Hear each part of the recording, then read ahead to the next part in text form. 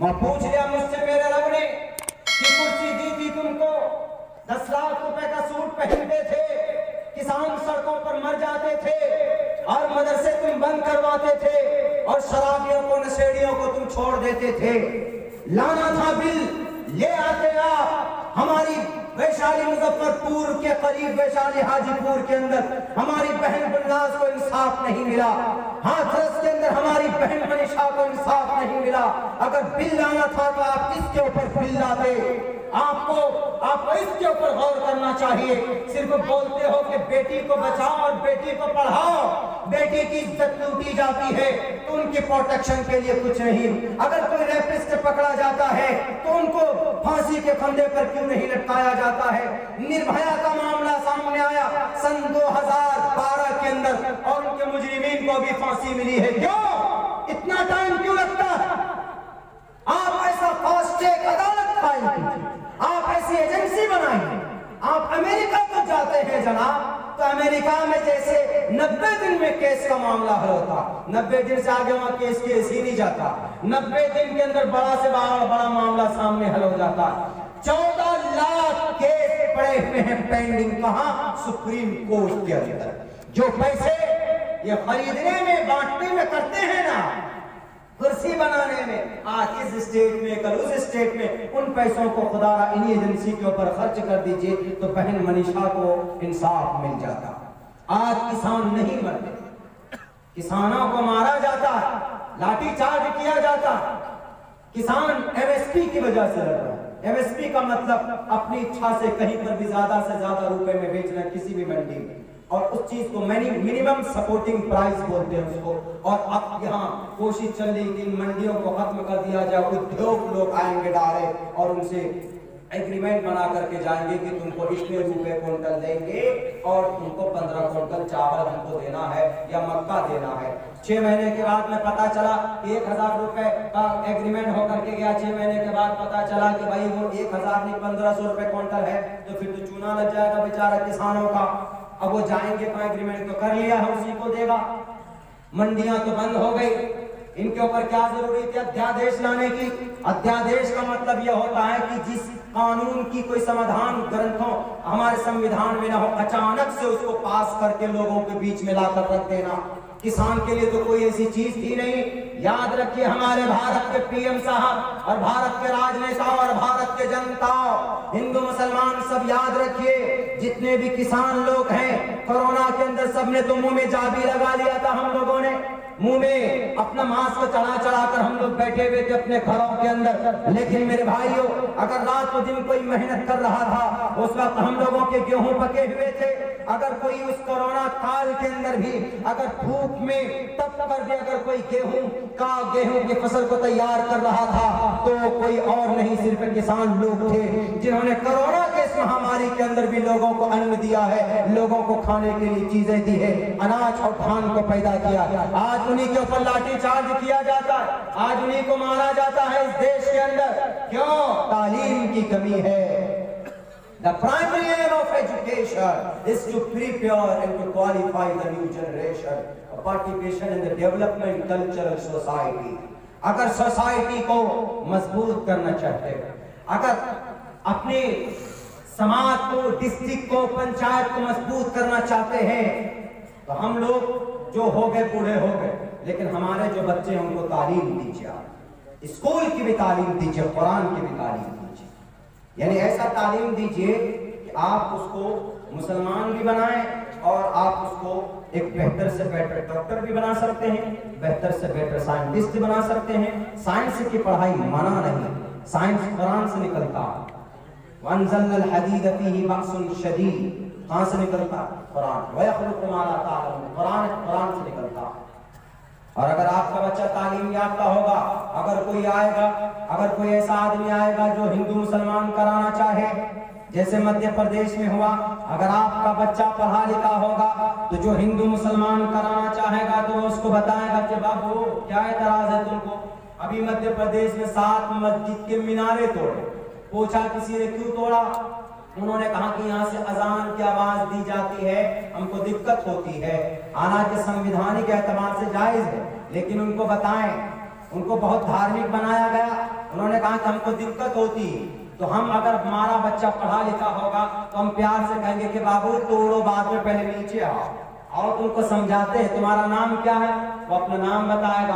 प्यार से कहेंगे कि अजान देना पाप नहीं है। अजान देना ये पुण्य का काम है। और ईश्वर ने महाभविष्य पुराण के अंदर कहा, लिंग छिदी शिखाहीना शिवशरूधारी सदूषका उच्चला पी ऊँची आवाज़ में कल की अवतार पुकारेंगे। उच्चला पी भविष्यति। भविष्य के अंदर ऊँची आवाज़ में कल के अवतार लोगों को पुकारेंगे। भविष्यति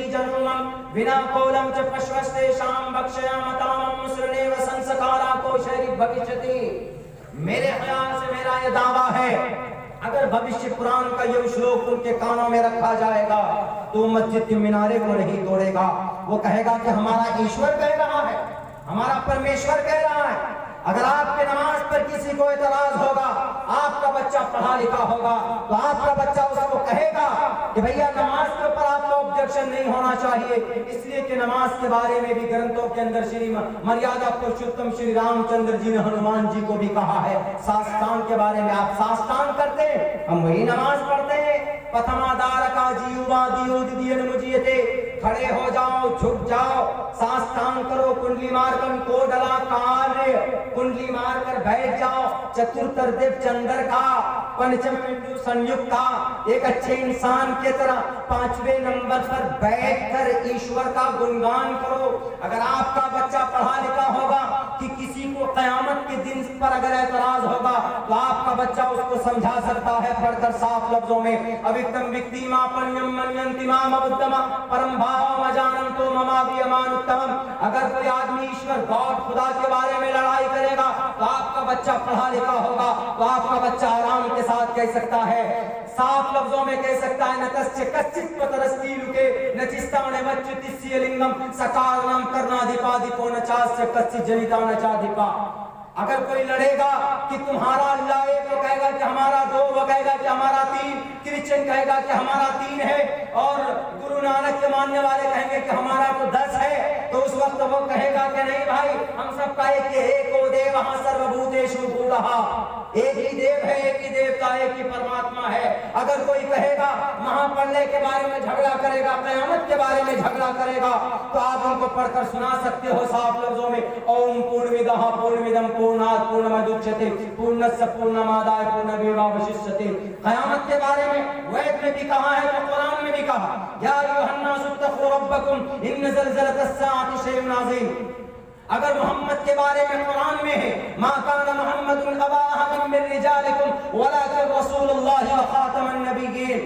करीम के अंदर है, मोहम्मद के बारे में तो वैद में भी कहा गया लफ्जों के अंदर, पूरे लफ्जों में उस तरह जस्य परवाहि जो वधुमन को दिविर्दश्चवर समारतश्च देवी झेड़ती देविस्मारा उपश पुरुष। मरने के बाद दोबारा ज़िंदा होने पर कुरान में कहा गया है, साफ़ लफ्जों के अंदर के मरने के बाद दोबारा तुम ज़िंदा किए जाओगे।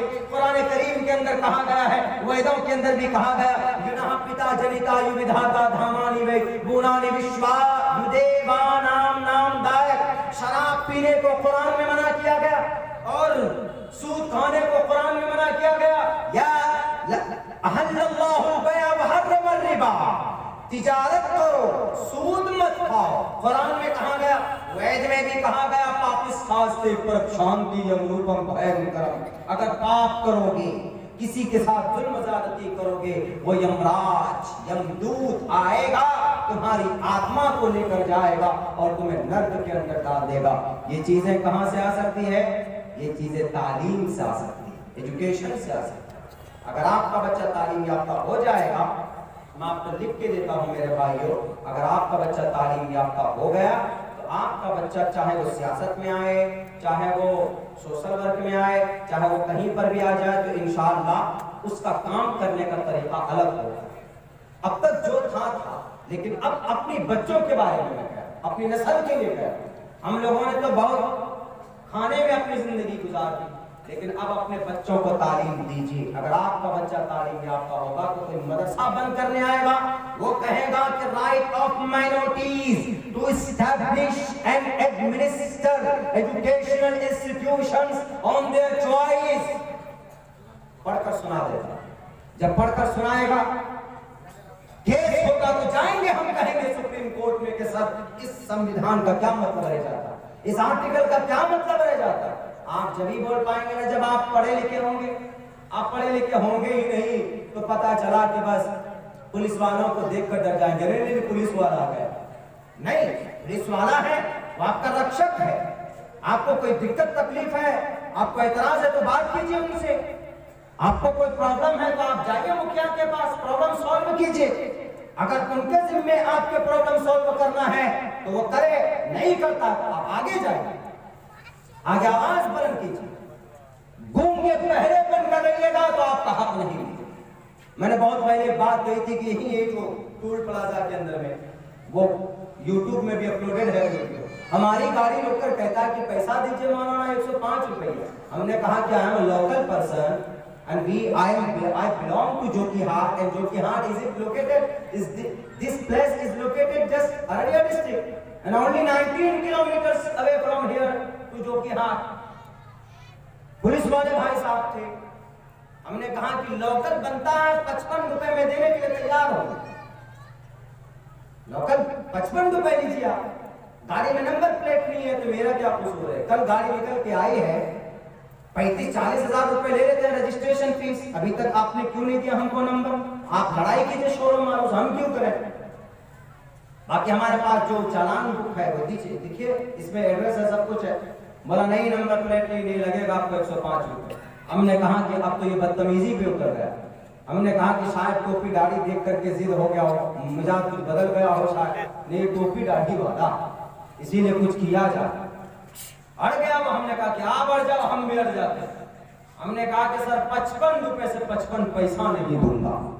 पुलिस वाला बोला, हज़रत, सर, इतना रुपए की गाड़ी है, पचास टका देने में क्या जाता? हमने कहा कि बात पचास टके की नहीं है, बात है गलत उसूल, धांधली, दादागिरी। मैंने किसकी पैंट ढीली कर दूँगा आज, लेकिन नहीं दूँगा पैसा। और बता कीजिए फ़ोन किसको करिएगा किस मुखिया को, किस एमएलए को, किस एमपी को कीजिएगा। हमने कहा कि हम किसी से नहीं फ़ोन करेंगे। हम क्यों करेंगे मुखिया को एमएलए को? हमको जानकारी है। We know lot thing about that हमको मालूम है। Therefore, I stand here completely मैं यहीं पे खड़ा होता डिस्कस होते होते लंबी लाइन लगी ट्रक वालों की। और ट्रक वाले सारे आ गए कि हमको देरी हो रही। अब वो टूल टैक्स वाला वाला गाड़ी आगे कीजिए। मैंने कहा, चाबी मेरे पास है हैंड ब्रेक लगा हुआ तुम उठा करके लेके जाओ। यही रहेगी गाड़ी चेचिस नंबर डाल कर देखो आई एम लोकल पर्सन एक रुपया नहीं दूँगा। पानी सर से ऊपर गया। वो तो चला गया। जो बोला, देना पड़ेगा। हमने कहा कि एक पैसा नहीं दूँगा। खड़े हो वो सोचा कि शायद ये जिद्दी मौलाना वो तो आहिस्ते आहिस्ते खसक लिया। दूसरे आदमी दो तीन लोग जो थे, उसके प्रमुख वगैरह वहाँ पर आए। आने के बाद बोला अच्छा मौलाना साहब, दीजिए पचास टका, आप दीजिए जाइए। हमने कहा, अब पचास नहीं, अब चाहे तुम साठ रुपए ले लो, मैं देने के लिए तैयार लेकिन अब पता चल गया ना कि लोकल की उसूली क्या होनी चाहिए। क्यों धांधली करते हैं आप लोग? क्यों धांधली करते हैं? अगर वहाँ पर हम खामोश रहते सर, सुर, ये, वो बना ढिमाका तो वो ले ही लेता। जो जेन्युइन खर्चा है जहाँ का, लोग भाई हम देने के लिए तैयार इसीलिए आपका बच्चा अगर तालीम याफ्ता होगा तो हर जगह अपना हक भी ले सकता है इलाके को तब्दील कर सकता जैसे हमने आसाम में दो टोक लफ्जों में बात की, हमने कहा कि बता देना वहाँ के मिनिस्टर को, हेमंत विश्व शर्मा को, जिसके अंदर भूसा भर गया है दिमाग के अंदर। और उन्होंने कहा कि इन मदर प्राइवेट जो मदरसे बाकी हैं, इन मदरसों के अंदर साइंस दाखिल करेंगे हम। इन मदरसों के अंदर डॉक्टरेट दाखिल करेंगे कंप्यूटर दाखिल करेंगे। हमने कहा कि अलग से दाखिल करने की कोई ज़रूरत नहीं।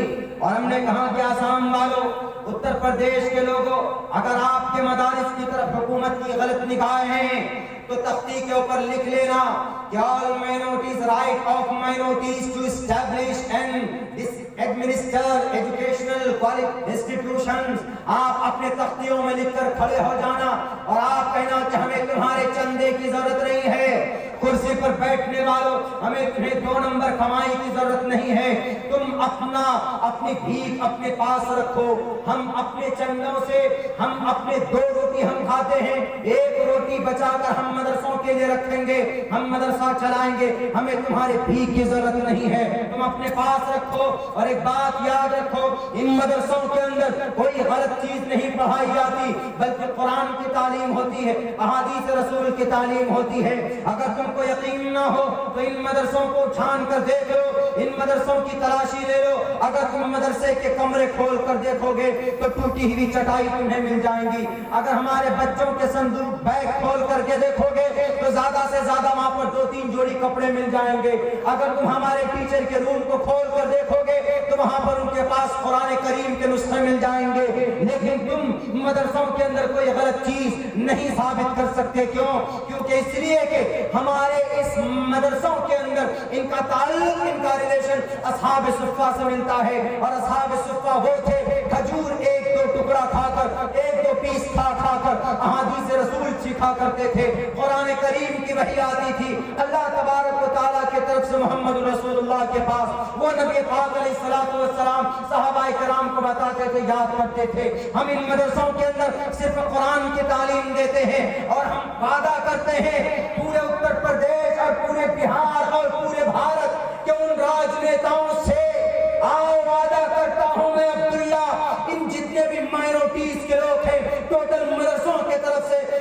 सालिम वादा देता है। आपको जब भी ज़रूरत पड़ जाए, आपको नेपाल बॉर्डर पर ज़रूरत पड़ जाए, आपको चीन बॉर्डर पर ज़रूरत पड़ जाए, आपको श्रीलंका के बॉर्डर पर ज़रूरत पड़ जाए, आपको अफ़गानिस्तान के बॉर्डर पर ज़रूरत पड़ जाए, आपको पाकिस्तान के बॉर्डर पर ज़रूरत पड़ जाए, आपको भूटान के बॉर्डर पर ज़रूरत पड़ जाए। आप एक मरतबा आवाज़ निकालना जो हमारे हुफाज कराम कराम बैठकर कुरान की तालीम देते हैं वो तालीम देना बंद कर देंगे। सबसे पहले कफन बाँध कर बॉर्डर पर नज़र आए।